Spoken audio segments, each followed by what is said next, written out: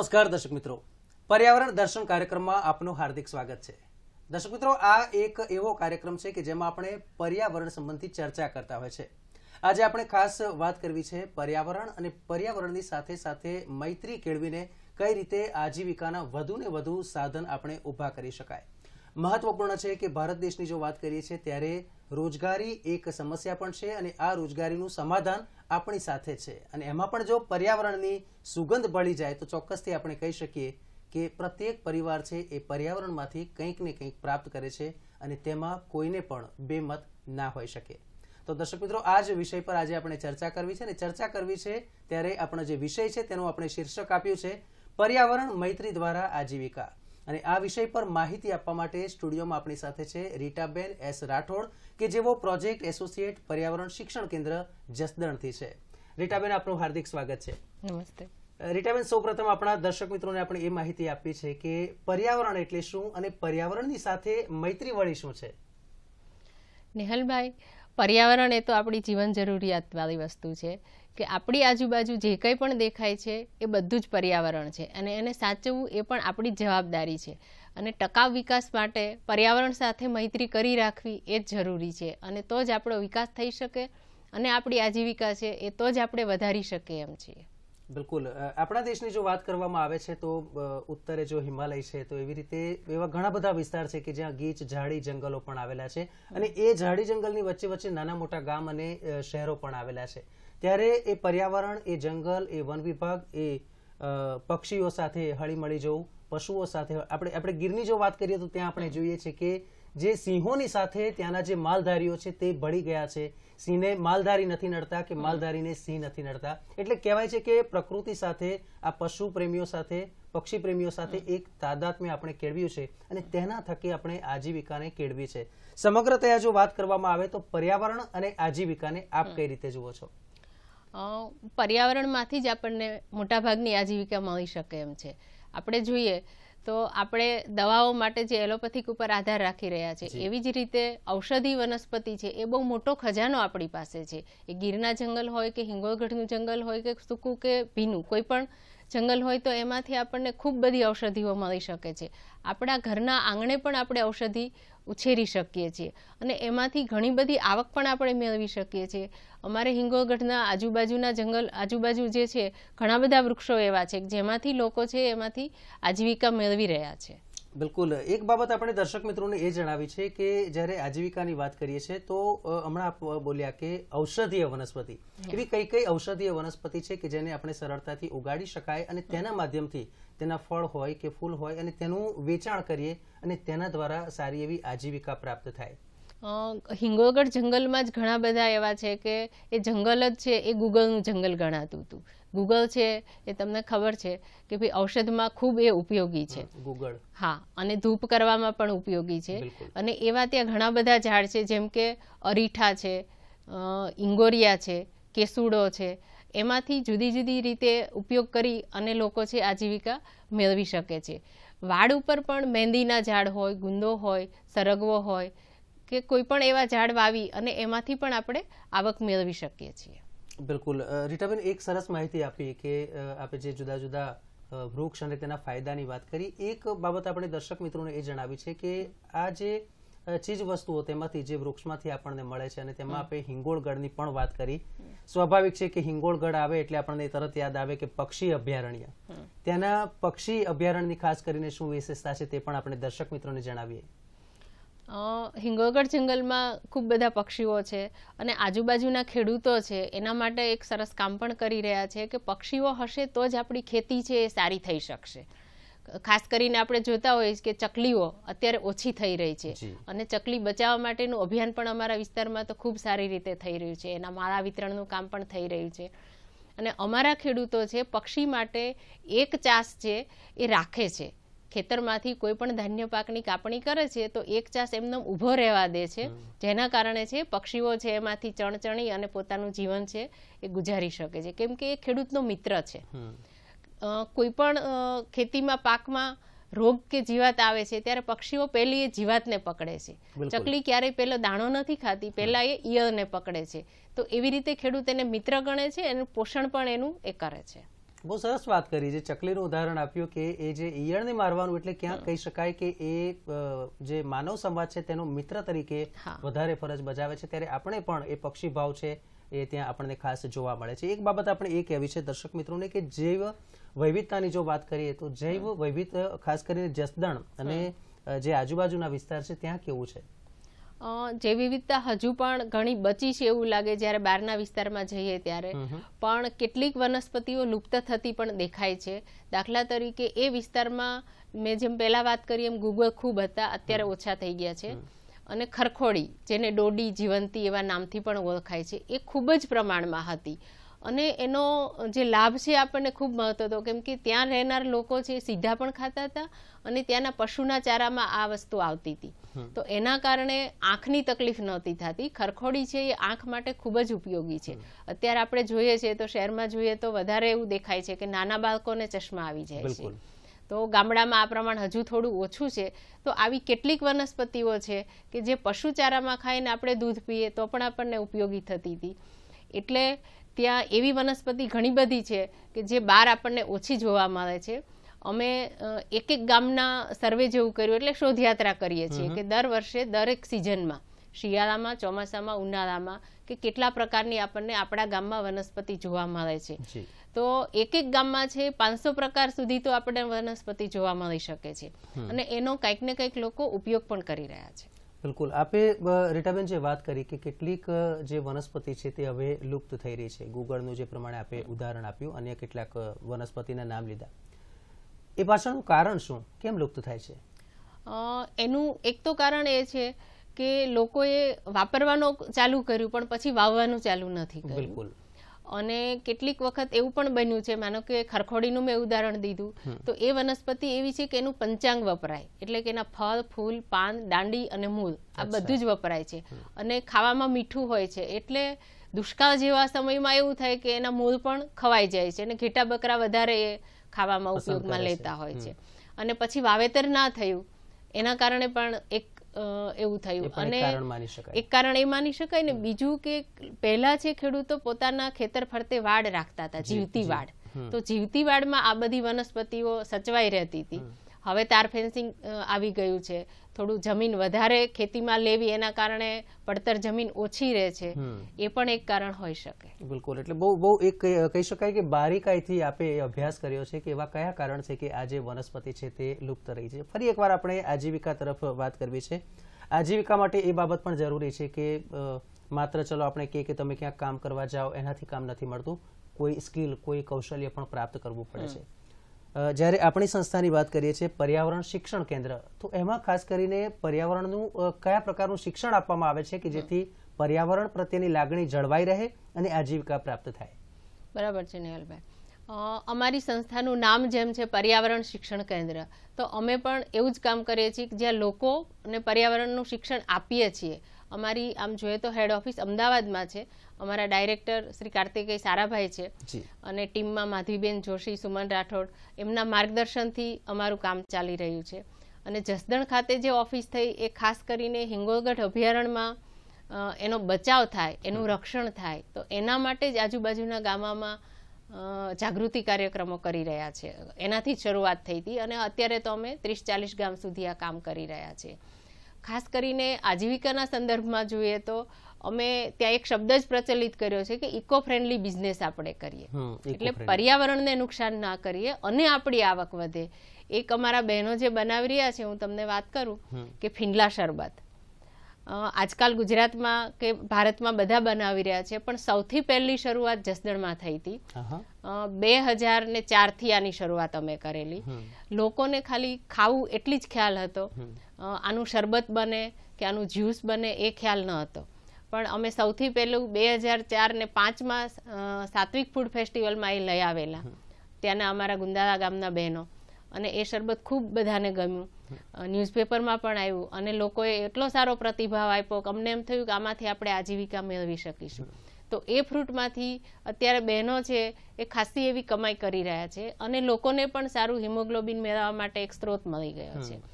પણ આ ખલાસ ના થાય ખતમ ના થાય હમણાં જેમ આપણે વાત કર્યું કે લુપ્ત ના થાય એના પણ અમારા પ્રયત્ન ચાલુ છે. એ ફ્રૂટમાંથી બીજ લઈ અને પાછા અમે જંગલમાં એમાં વેરીએ છીએ. એટલે આપણને નવા ફ્રૂટ મળી શકે. બિલકુલ. બહુ સરસ વાત કરી રીટાબેન. જે પ્રમાણે આપ વાત કરી રહ્યા છો કે આ રીતે પણ આપણે આપણી પ્રકૃતિ છે તેનું જતન કરી શકીએ છીએ. દર્શક મિત્રો મહત્વની બાબત એ છે કે પ્રકૃતિ તેનું કામ તો કરે છે પરંતુ તેનો નાશ ના કરવો એ ક્યાંક આપણી પણ જવાબદારી છે. આ જ વિષય પર આપણી ચર્ચા જારી રહેશે. મળીએ છીએ એક નાનકડા વિરામ બાદ.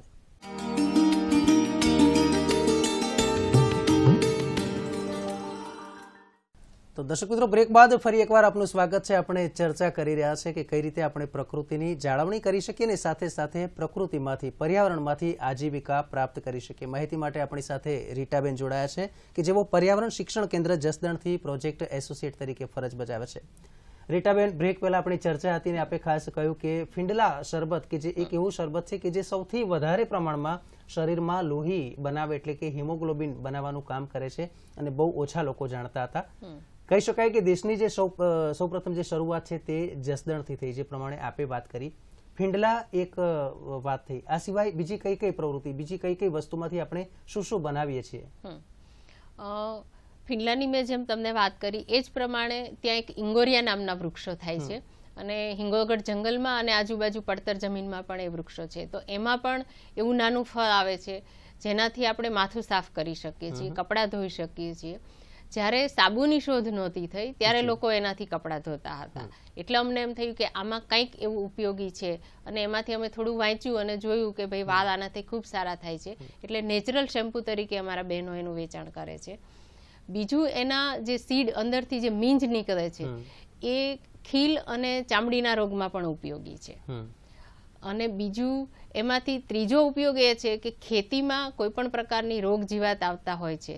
ત્યારે દવા બનાવવામાં પણ અમે એનો ઉપયોગ કરીએ છીએ. ગૌમૂત્ર અને લીમડો આંકડો અને ઇંગોરિયાના બી. આ બધું જ એકસાથે પલાળી અને પછી એ મિશ્રણ છે એ ભેગું કરી અને છાંટવામાં આવે તો કેટલાક રોગ છે એ નાશ પામે છે. તો આવી રીતે કામ ચાલે છે. બિલકુલ. રીટાબેન એ જ ઇંગોરિયા છે કે જે સાવરકુંડલા બાજુ જો વાત કરવામાં આવે તો દિવાળી વખતે જે સામ સામે ફેંકવામાં આવે છે અને આ રીતે ક્યાંક જે ફટાકડા ફોડીને આનંદ મેળવવામાં આવે છે અને એમાં પણ ક્યાંક જે પ્રકૃતિ સાથેનો તાદાત્મ્ય છે તે પણ આપણને જાણવા મળે છે.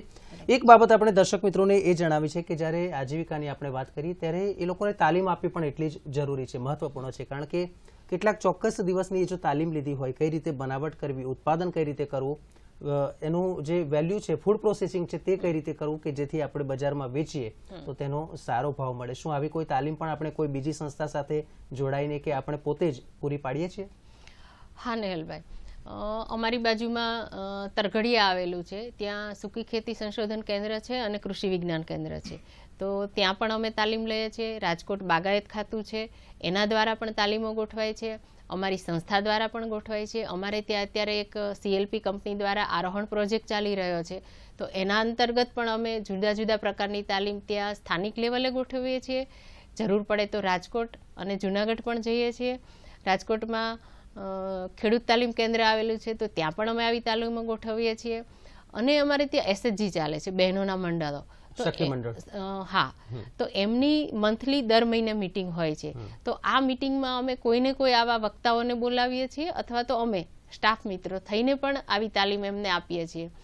અને એનો અમને લાભ પણ ઘણો બધો મળે છે કે સ્થાનિક લેવલે જ્યારે મોટું ફંક્શન હોય અમારી હેડ ઓફિસ અમદાવાદમાં ફંક્શન હોય કે બહાર કોઈ મેરેજ હોય ત્યારે પણ અમારા બહેનોને એ લોકો ઓર્ડર આપે છે કે ભાઈ તમે આવીને ફિનલા શરબત આપો તુલસી સુધા આપો અથવા તો વલોણાની છાશ આપો નાગરવેલના પાનનું શરબત આપો તકમરિયાનું શરબત આપો વરિયાળીનું શરબત આપો આંબલીનું શરબત આપો.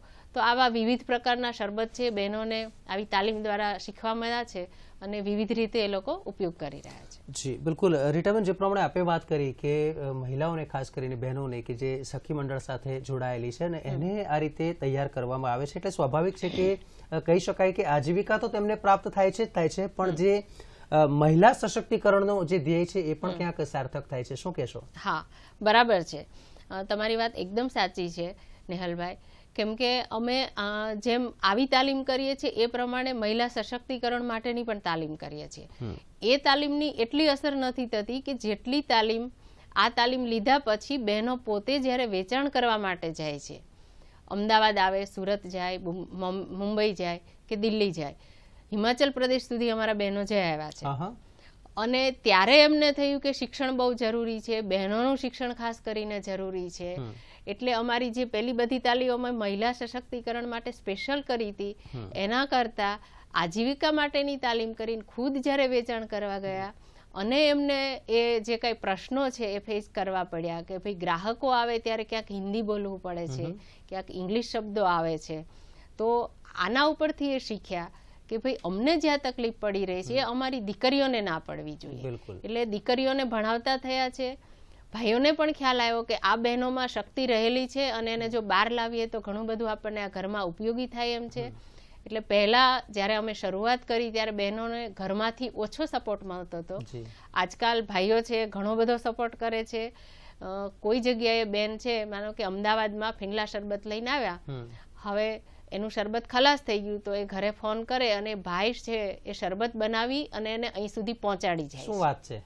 એટલે આટલો ફેર પડી ગયો છે. એવા પણ દાખલા છે કે શરબત બનાવવાની તાલીમમાં બેન આવ્યા હોય ને ઘરે જઈને માર ખાવો પડ્યો હોય. બિલકુલ એટલે એટલે કહી શકાય કે એક એ જે પ્રારંભ હતો એ થોડો કઠિન હતો. પણ અત્યારે એમાં જો વાત કરવામાં આવે તો ક્યાંક મહિલા છે તેને આઝાદી મળી છે તેના પરિવાર તરફથી આઝાદી મળી છે તેના પતિનો સપોર્ટ મળ્યો છે. આપે એક વાત કરી કે જે કુટુંબ છે એમાં બાળકો હોય એ પણ સ્વાભાવિક છે કે દરેક કુટુંબમાં એક બે ત્રણ બાળકો હોય. શું શાળામાં બાળકોને પણ પર્યાવરણનું શિક્ષણ મળે એવા કોઈ જાગૃતિ કાર્યક્રમ કરવામાં આવે છે કે કેમ? હા, બિલકુલ. શાળાઓમાં પણ અમે પર્યાવરણ શિક્ષણ કેન્દ્ર છે એનું કામ જ એ છે કે શિક્ષણ આપવું. એજ્યુકેશનનું જ કામ અમારું છે. તો અમે ત્યાંની પ્રાથમિક શાળાઓ સાથે કામ કરી રહ્યા છે. અને બાળકોને પણ આ અમે શિક્ષણ આપીએ છીએ કે ભાઈ દર વર્ષે એ લોકોને અમે રૂપાઓ આપીએ છીએ. અને એ પોતે ખૂબ જ સારી રીતે બાળકો છે રોપાનો ઉછેર કરે છે. સ્કૂલમાં વાવે છે પોતાના ઘરે અથવા વાડીમાં વાવે છે. અને સાથે સાથે પાણી બચાવવાનું છે અથવા ખેતીમાં છે એ ઓછા ખર્ચે કેવી રીતે ખેતી કરવી અને રાસાયણિક દવા ખાતર ઓછા વાપરવા એના પ્રયોગો છે. આ પણ અમે નાના પાયે બાળકોને શીખવાડીએ છીએ. ખેડૂતો સાથે થોડું મોટા પાયે કરીએ છીએ. આવી રીતે અમારું કામ ચાલે છે. બિલકુલ, રીટાબેન. એટલે દર્શક મિત્રો, અહીંયા મહત્વની બાબત એ છે કે જ્યારે પ્રકૃતિનું શિક્ષણ આવે છે, ત્યારે કુટુંબના પ્રત્યેક વ્યક્તિનો ફાળો તેમાં હોવો જરૂરી છે. એમાં પતિ છે, પત્ની છે, બાળકો છે, બધાનો સપોર્ટ જો હોય, તો શક્ય છે કે પ્રકૃતિ છે તે પણ વિકસિત થાય અને સાથે સાથે આજીવિકા જળવાય. શિક્ષણનું પ્રમાણ વધે, મહિલા સશક્તિકરણનું પ્રમાણ પણ તેમાં પણ ચોક્કસથી વધારો થાય. આ જ વિષય પર આગળ પણ આપણે ચર્ચા કરીશું. મળીએ છીએ એક વિરામ બાદ.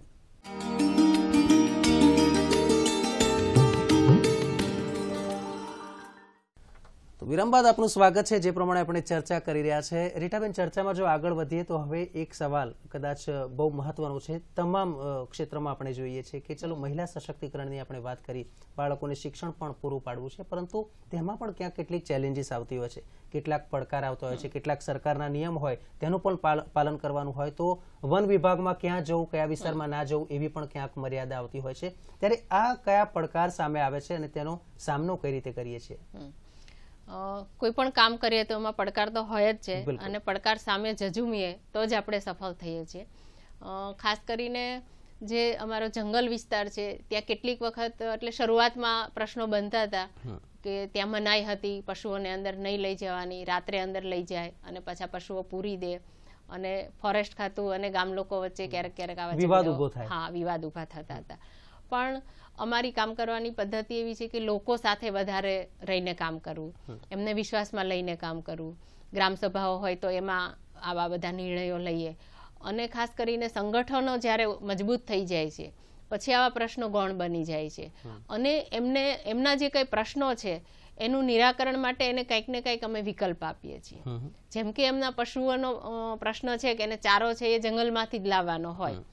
એટલે એવું કરે કે પશુઓને ત્યાં છોડે છે જંગલમાં ચરવા માટે. બિલકુલ. એટલે એના વિકલ્પ માટે અમે એવું કર્યું કે સારા ઘાસચારા ખેડૂત પોતે ઉગાડી શકે એવા એમને બીજ લાવીને આપ્યા. એવા ભોથા લાવીને આપ્યા કે એ શેઢા પાળે વાવી દે તો એને ઘાસચારો મળી જાય. અને ફોરેસ્ટ ખાતાએ પણ એવો નિયમ કર્યો કે ભાઈ એમને ઘાસ જોઈએ છે તો ઘાસ પૂરેપૂરું થઈ જાય એના બી ત્યાં ખરી જાય પછી ખેડૂતો છે એ બધા વાઢી શકે. તો જંગલમાં બી ખર્યા હોય તો ઘાસ પણ સારું થાય અને ખેડૂતને ચારો પણ મળી શકે.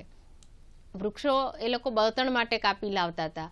તો એના માટે અમે એવું કર્યું કે એક- વિકલ્પ આપ્યો કે ગોબર ગેસ પ્લાન્ટ. એટલે રસોઈ માટે એમનું કામ થઈ શકે. અને અમુક અમે એમને જે રોપાઓ આપ્યા છે વૃક્ષોના એ એવા જ આપ્યા છે કે જેમાંથી એને સારું લાકડું મળે. નીલગીરી જેવા પણ રોપા આપીએ છીએ જેમાંથી તે મકાન પણ બનાવી શકે છે. અને એમનું જે બળતણનું છે એ પણ દૂર થઈ શકે.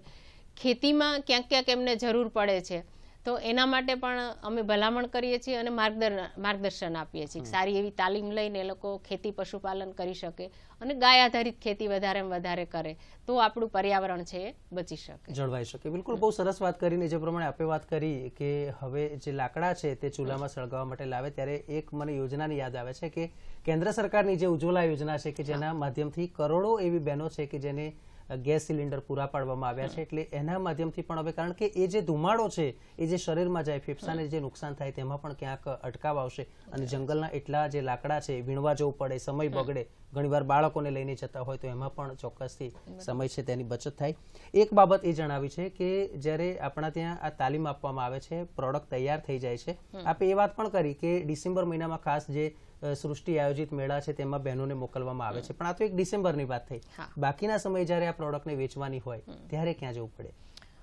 નેહલભાઈ આ પ્રશ્ન આમ જોઈએ તો અમારા માટે પણ ચેલેન્જ છે. છતાં પણ સૃષ્ટિ સંસ્થા આયોજિત જે મેળો છે એ અમારું મોટું માર્કેટ છે. કેમ કે એ હોય છે ડિસેમ્બરમાં પણ આખું વર્ષ અમને એમાંથી સંપર્ક. હા સંપર્કને એવું મળી ગયું હોય એટલે ફોન દ્વારા પણ ઓર્ડર મળે છે. બહુ સરસ. અને કેટલાક લોકો એ મેળા દ્વારા અમને ઓળખે છે. એટલે એમને ત્યાં ફંક્શન હોય તો ત્યાં બોલાવતા હોય છે. સરકારશ્રીના પણ ઘણા બધા આવા મેળાની આયોજન થાય છે. તો એમાં પણ અમારા ગ્રુપ છે એ જતા હોય છે. કેટલીક સંસ્થાઓ ફંક્શન કરે છે. અમારી સંસ્થા કરે અથવા તો બીજી સંસ્થાઓ કરતી હોય ત્યારે પણ અમારા બહેનોને ઓર્ડર મળે છે. અને એમાં છે એ જે તે વસ્તુઓ લઈને જતા હોય છે. કેમ કે અમારા બહેનો છે એ શરબત અને છાશ ને માંડીને રોટલા ઓળા એવું પણ બનાવે છે. એટલે એવા ઓર્ડર પણ બહેનો છે લે છે અને માર્કેટ આવી રીતે પૂરું પાડે છે. થોડું એવું છે કે ખેતીમાં જે કઈ વસ્તુ થાય છે તો એનું મૂલ્યવર્ધન કરે છે. જેમ કે મગફળી થાય છે તો મગફળીનું તેલ કઢાવે તો એક વર્ષ સુધી સારું રહે એટલે વાંધો ના આવે. ખારી શીંગ ચીક્કી કે એવું છે એ મેળામાં વેચે અને તેલ છે એ વર્ષ દરમિયાન એ લોકો વેચી શકે. તલ હોય તો તલમાંથી પણ એવી જ પ્ર- એવી જ રીતે બનાવે છે કે ભાઈ હેર ઓઇલ બનાવે માલિશ માટેનું ઓઇલ બનાવે અને ચીક્કીને કચરિયું ને એવું બધું પણ બનાવે છે. એટલે એટલે કહી શકાય કે એવા ઘણા વિકલ્પ છે કે જે આ તાલીમ લીધા પછી પણ જે ત્યાંની સ્થાનિક જનતા છે તેને મળ્યા છે. સમયની આપણી પાસે મર્યાદા છે કારણ કે વિષય તો આપણો એવો છે કે જેટલો સમય આમાં પસાર કરીએ તેટલો ઓછો છે. દર્શક મિત્રોને પણ આપણે મેક્સિમમ માહિતી પૂરી પાડીએ છીએ. પણ જતા જતા એક દર્શક મિત્રોને આપણે સંદેશો આપવો છે કે આપણે પર્યાવરણની જાળવણી છે તે કેમ કરી અને જે ખાસ કરીને જ્યારે હિંગોળગઢની વાત કરીએ છીએ કે જે પોતે પ્રકૃતિ ઉદ્યારણ છે જે બર્ડ સેન્ચ્યુરી છે અને ત્યાં એ બર્ડને નુકસાન ના થાય. ત્યાંના જે પશુઓને નુકસાન ના થાય તો એ માટે ખાસ કરીને શું કાળજી રાખવી જોઈએ? શું કહેશો આપનો સંદેશો? ખાસ તો દર્શક મિત્રોને એવો સંદેશો આપવાનું મન થાય છે કે આપણા કોઈ પણ તહેવાર હોય એ કોઈ પણ જીવને હાનિ ના કરે. એવી રીતે ઉજવાય જેમ કે પતંગ ઉત્સવ જાય છે તો કેટલાક પક્ષીઓ એમાં મરણ પામે છે. તો એ આપણે એક ધ્યાન રાખીએ અને બીજું દોરીનો ઉપયોગ ના કરીએ. હા. બીજું એ કહેવાનું મન થાય છે કે કંકોત્રી આપણે એવી છપાવીએ કે પછી એનો માળો બનાવી શકીએ. બહુ સરસ. અને માળો આપણા ઘરે હોય તો કંકોત્રી આપનાર અને લેનાર બંને ખુશ છે અને પક્ષી પણ ખુશ થાય છે. કાયમ માટે એક મેમરી પણ કાયમ માટે એક મેમરી રહે છે. અને આપણા ઘરમાં આવતા સારા મોળા પ્રસંગોમાં એક વૃક્ષ વાવીએ. દરેક માણસ જો આ એક નિયમ લઈ લે તો કદાચ છે પર્યાવરણનો પ્રશ્ન છે અત્યારે વૃક્ષો કપાઈ રહ્યા છે. એ અ, કપાઈ નહીં અથવા તો જે કપાય છે એની સામે આટલા વૃક્ષો છે વવાય અને ઉછેર કરવો એ ખૂબ જરૂરી છે. બિલકુલ. બહુ સરસ આપે સંદેશો આપ્યો ઉમદા વાત કરી. રીટાબેન ખાસ આપ પર્યાવરણ દર્શનના આ કાર્યક્રમમાં આવ્યા. દર્શક મિત્રોને આજે રોચક માહિતી આપી. આપનો ખૂબ ખૂબ આભાર. આભાર.